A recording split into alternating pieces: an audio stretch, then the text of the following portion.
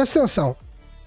É, o que eu vou mostrar para vocês agora, eu peço que vocês pensem um pouco comigo, né? Pensem um pouquinho comigo se isso aconteceria há um tempo atrás aqui no Brasil, certo? Se isso aconteceria aqui no Brasil há um tempo atrás. A gente, nós vimos, né, é, por muito tempo a Honda lançando seus modelos aqui sem praticamente nenhuma concorrência e nada que afetasse um lançamento da Honda ao ponto da Honda tomar medidas que, ao meu ver, são medidas desesperadas, né? Procurando canais de fora do nicho, do motociclismo, né? Porque quem, porque a Honda sabe que quem pesquisa, quem corre atrás de informação no nicho do motociclismo, não cai nesse chaveco dela de quadro é, com berço semiduplo, com quadro da CRF, enfim. Então, o que, que, ela, tá, que, que a Honda está querendo fazer agora? Ela está querendo captar pessoas de fora da bolha, porque ela sabe que dentro da bolha ela está mais queimada, né? Que, que, que faixa de pedestre quando abre o sinal. Então, ela tá muito queimada no, no motociclismo, assim, na área crítica, né? Na, porque, tipo assim, a, a galera que. A geração esqueça tudo, por assim dizer, a geração esqueça tudo, esqueça tudo, meu parceiro. Essa geração a moto pode custar 40 mil reais, eles vão meter um boletão ali e vão comprar e dane-se. Porque é uma geração nova. Eles não têm ainda a vivência, vocês estão entendendo? É, é, eles, tudo, se eles se baseiam no esqueça tudo, meu parceiro, entendeu? Vou pôr uma motinha na chapa.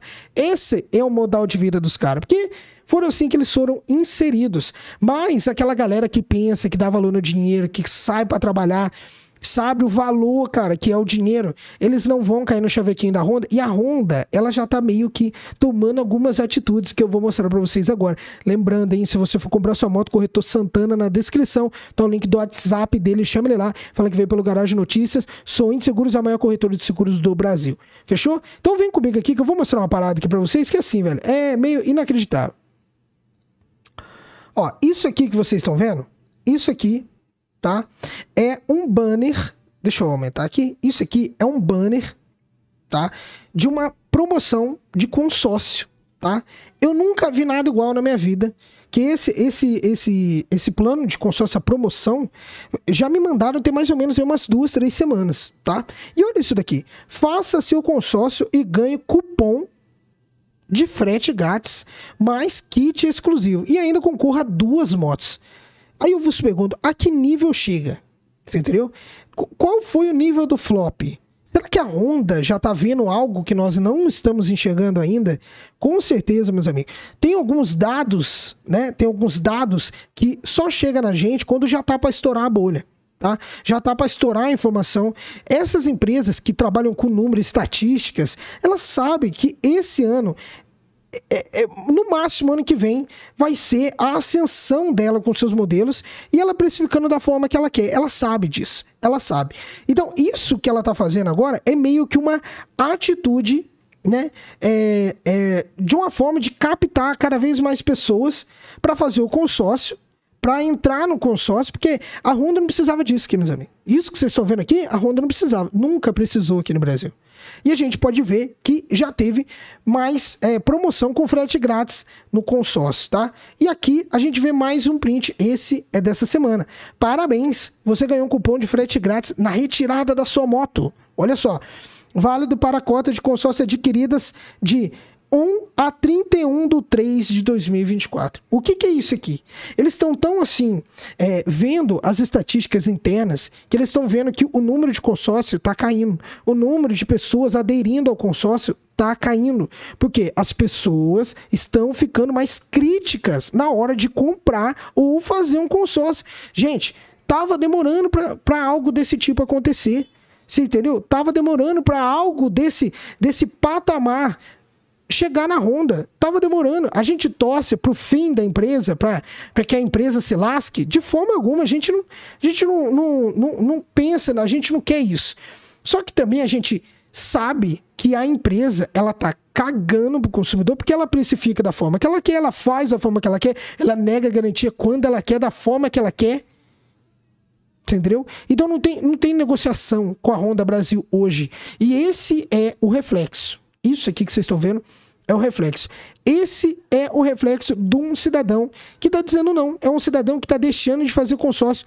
Mas também chega naquele ponto que também pode ser que o que a, a, massa, né, que é o grande público que consome Honda no Brasil, que é o baixa renda, estão ficando sem dinheiro, estão ficando sem créditos, porque a cada dia que passa, o cidadão brasileiro está mais endividado, está mais, né, tá mais ali com a corda no pescoço, literalmente. Então a gente pode ver que é, um, é uma junção de fatores, não é só uma coisa, não, mas é uma junção de fatores que levam à queda no número de consórcios, à queda no número de emplacamentos, e a gente vê esse tipo de estratégia sendo retomada pela Honda Brasil, algo que eu não via há muito tempo. Eu particularmente eu nunca vi.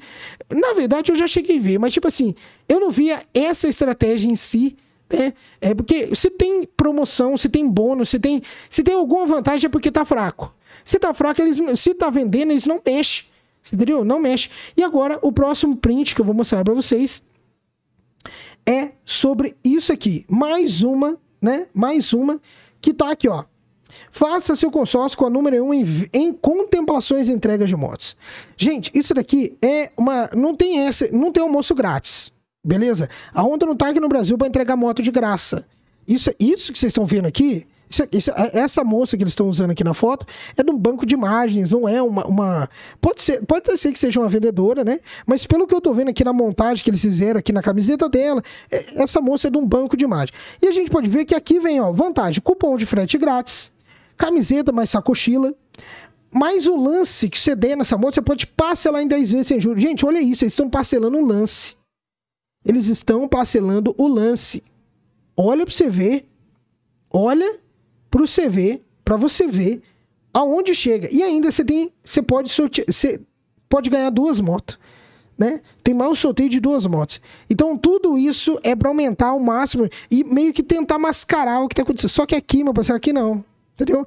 Garagem Notícia não é assim, não. Por isso que eu falo para vocês que eu peço a inscrição para vocês, porque aqui a gente não fala só de moto. A gente fala tudo o que abrange o motociclismo. Tudo, a todas as estratégias que as concessionárias estão tá fazendo. Aqui a gente não deixa passar nada.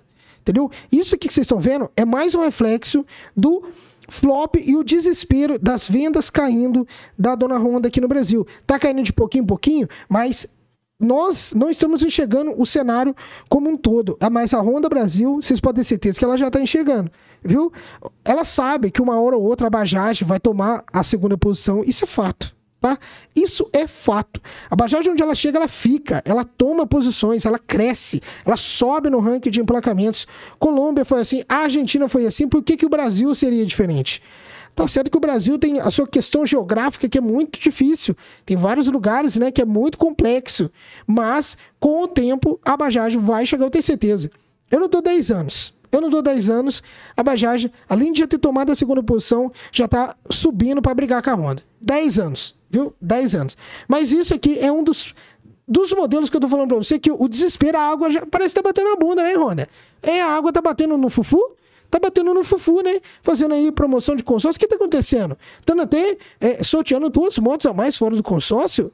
Ah, que pena. E é o que eu sempre digo para vocês, a, a escolha tá na mão do consumidor, meus amigos. Tá na mão do consumidor. Isso aqui, isso aqui que vocês viram agora, que eu acabei de mostrar pra vocês, nada mais é do que uma escolha de um consumidor que disse não um conjunto de consumidores que negou-se a se sugestar, a bancar toda essa palhaçada que a Honda faz aqui no Brasil, né? Quando faz evento, vou dar um exemplo para vocês. Quando faz evento, vai lá naquela, naquela fazenda deles lá, faz esse evento aí, bancou basicamente, né? Porque assim, a, a, o evento das duas rodas ali, vocês me desculpa.